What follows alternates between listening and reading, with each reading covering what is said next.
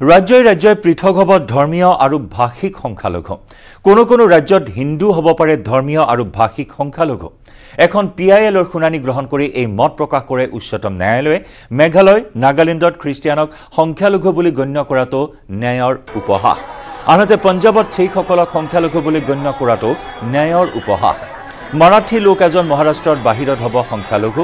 ন্যায়াধীশ U U Lalit ন্যায়াধীশ S Rabindra Bhatta আৰু সুধাংশু ধুলিয়াৰ বিচাৰপীঠৰ এই মন্তব্য হিন্দুসকলৰ কাৰণে জম্মু আৰু কাশ্মীৰ মিজোৰাম নাগালেণ্ড মেঘালয় অৰুণাচল লাক্ষাদ্বীপ লাডাখ পঞ্জাৱ আৰু মণিপুৰত সংখ্যালঘুৰ স্বীকৃতি বিচাৰে আবেদনকাৰীয়ে। এই ৰাজ্যকেইখনত ৰাজ্য আৰু কেন্দ্ৰীয় শাসিত অঞ্চলত খ্ৰীষ্টিয়ান শিখ মুছলমান নতুবা বৌদ্ধ ধৰ্মীয় লোক সংখ্যাগৰিষ্ঠ।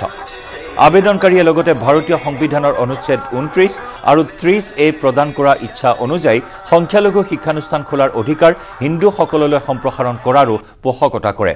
ঊনৈছশ বিৰান্নব্বৈ চনত কংগ্ৰেছ শাসিত কেন্দ্ৰীয় চৰকাৰে ৰাষ্ট্ৰীয় সংখ্যালঘু আইন প্ৰণয়ন কৰি সমগ্ৰ ভাৰততেই মুছলমান খ্ৰীষ্টিয়ান শিখ জৈন পাৰ্চী বৌদ্ধ ধৰ্মীয় লোকক ভাৰতৰ যিকোনো ঠাইত সংখ্যালঘুৰ স্বীকৃতি প্ৰদান কৰি থৈছে। আৰু বিষয়টোৱে সম্প্ৰতি ব্যাপক চৰ্চা লাভ কৰিছে সমগ্ৰ দেশজুৰি। ৰাজ্যই ৰাজ্যই পৃথক হ'ব ধৰ্মীয় আৰু ভাষিক সংখ্যালঘু। কোনো কোনো ৰাজ্যত হিন্দু হ'ব পাৰে ধৰ্মীয় আৰু ভাষিক সংখ্যালঘু। এখন পি আই এলৰ শুনানি গ্ৰহণ কৰি এই মত প্ৰকাশ কৰে উচ্চতম ন্যায়ালয়ে। আমি জনাইছোঁ মেঘালয় নাগালেণ্ডত খ্ৰীষ্টিয়ানক সংখ্যালঘু বুলি গণ্য কৰাটো ন্যায়ৰ উপহাস হ'ব। আনহাতে পঞ্জাৱত শিখসকলক সংখ্যালঘু বুলি গণ্য কৰাটো ন্যায়ৰ উপহাস। ইফালে মাৰাঠী লোক এজন মহাৰাষ্ট্ৰৰ বাহিৰত হ'ব সংখ্যালঘু। ন্যায়াধীশ ইউ ইউ ললিত ন্যায়াধীশ এছ ৰবীন্দ্ৰ ভট্ট আৰু সুধাংশু ধুলিয়াৰ বিচাৰপীঠৰ এই মন্তব্য।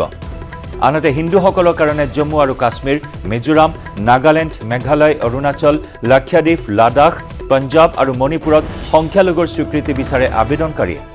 আৰু এই ৰাজ্যকেইখনত ৰাজ্য আৰু কেন্দ্ৰীয় শাসিত অঞ্চলত খ্ৰীষ্টিয়ান শিখ মুছলমান নতুবা বৌদ্ধ ধৰ্মীয় লোক সংখ্যাগৰিষ্ঠ। আবেদনকাৰীয়ে লগতে ভাৰতীয় সংবিধানৰ অনুচ্ছেদ ঊনত্ৰিছ আৰু ত্ৰিছ এ প্ৰদান কৰা ইচ্ছা অনুযায়ী সংখ্যালঘু শিক্ষানুষ্ঠান খোলাৰ অধিকাৰ হিন্দুসকললৈ সম্প্ৰসাৰণ কৰাৰ পোষকতা কৰে।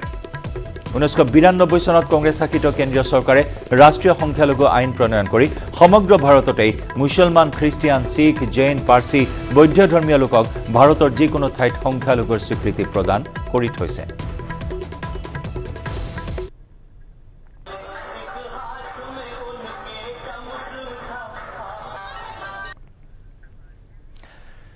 ইউৰোপৰ